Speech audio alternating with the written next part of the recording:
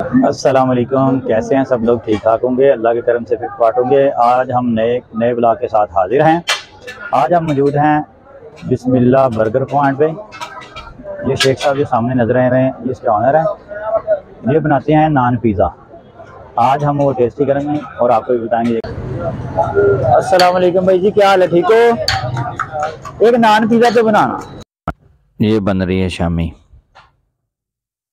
नान pizza बनाने के लिए सबसे पहले चिकन शामी बनाते हैं, जो बर्गर में इस्तेमाल होती है। ये बन रही है जी शामी, चिकन शामी, जो नान पिज़्ज़ा के ऊपर इस्तेमाल होगी। माशाल्लाह। ये बन रहा है हमारा नान पिज़्ज़ा। क्या ज़बरदस्त खुशबू आ रही है।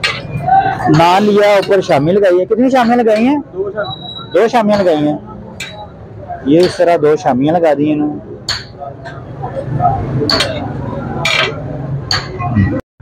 दो शामियाँ लगाने के बाद इसके ऊपर लगाते हैं बंद गोभी। बंद गोभी लगा के इसके ऊपर फिर लगाएँगे ये अंडा। ये भाई अंडा लगा रहे हैं ऊपर इस तरह। अंडा लगा के इसको घी के ऊपर रख देंगे फिर। ये रख दिया इसने ऊपर। आपको इसको एक साइड तैयार होने देंगे। ये बन रहा है नान पिज़्ज़ा। बहुत ही मज़े का होता है और बहुत ही नरम नरम होता है ये। ये इसकी एक साइड तैयार हो गई है आप दूसरी साइड पे भी लगाएँगे ये अंडा। ये देखें, ये इन्हें थोड़ा सा घी डाल लिया फिर ऊपर।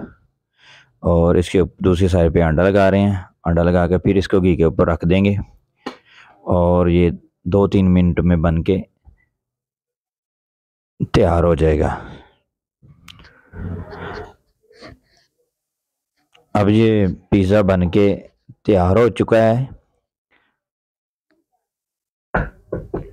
अब इसकी करेंगे ये कटिंग। अब ये बन के तैयार हो गया है इसकी करेंगे कटिंग। तो ये भाई कर रहे हैं इसकी कटिंग। ये देखो जी, माशाल्लाह। बड़ी सी छुरी इनके पास है। उसके साथ इसके चार पीस बना दिए हैं, जैसे पिज़्ज़े के होते हैं। अब इसको प्लेट में निकाल लेंगे और गार्निश के लिए ये इस्तेमाल करते हैं उसके ऊपर कैचअप मायोनीज़ और चाट मसाला। ये देखें जी बिल्कुल रेडी होके हमारे सामने आ चुका है। ऊपर लगाते हैं ये मायोनीज़, केचप और थोड़ा सा मसाला भी डाला है। माशाल्लाह माशाल्लाह, क्या ज़बरदस्त कलर है। क्या ज़बरदस्त खुशबू। अब इस नान पिज़्ज़े को टेस्ट करते हैं और टेस्ट करके आपको बताते हैं।